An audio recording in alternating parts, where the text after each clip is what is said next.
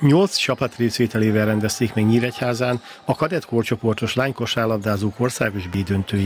A kieséses rendszerű tornán a házigazda NKS a Pécsi VSK-t 78-55-re legyőzve jutott a négy közé. Az elődöntőben a török Flóris törekvés ese 74-66-ra verte Farkasinszki Gyuláni együttesét, amely a következő meccsen a Szexártól kapott ki 68-59-re. A nyíregyháziak így a B döntő negyedik helyén végeztek, ami összesítésben a bajnokság 12. helyét jelenti számukra. Egy olyan agresszív csapdázós védekezéssel volt minden csapat, ami, ami sajnos ugye, és ez valószínűleg, vagy de nem valószínűleg, hogy biztos az én hibám, hogy erre nem, nem, nem tudtam még rájönni, hogy hogy lehetne ezeket a mi gyerekeinket egy ilyen kis agresszív kis oroszlánokká nevelni, mert mi per pillanat még olyan kis ügyesek vagyunk, valóban zsiráfok vagyunk, hogy jól el vagyunk magunknak, de nincs meg bennünk az az agresszivitás, ami, ami nagyon sok más csapatban megvan, és így azokban a közelharcokban, ugye sok esetben már közelharcról beszéltünk, az eset nagy részben nem jövünk ki győztesen.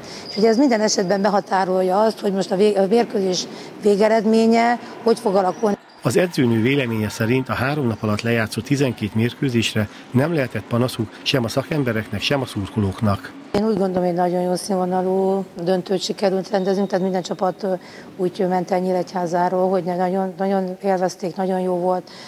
A mérkőzések is nagyon színvonalasak és jó mérkőzések voltak, tehát nagyon sokszor egy-két ponton múlt az, hogy éppen ki fog tovább lépni, vagy ki az, aki, aki lentel fog csúszni. Ugye mindenféleképpen a színvonalát az is jelzi, hogy több akadémiai csapat is ugye itt a, a B döntőben talált magának helyet, vagy például azt mondhatom, hogy a, hogy a Beac és a, a Szexál csapata az előző években ugye mindig A döntőnt játszott, és most ugye ide hozzánk kerültek le a, a B döntőbe. Tehát itt, itt, itt, mindig a pillanatnyi forma és a pillanatnyi, mondhatom azt, hogy talán, talán ö, ö, koncentráció döntött ö, annak a csapatnak a javára, aki, aki éppen a mérkőzés játszotta. A B első helyét a Beac Újbuda Kosárlabda Akadémia szerezte meg a török Flóris törekvéses előtt. A nyíregyháziak közül a csapatok legjobbjának járó díjat megosztva Borza Laura és Hidas Réka kapta.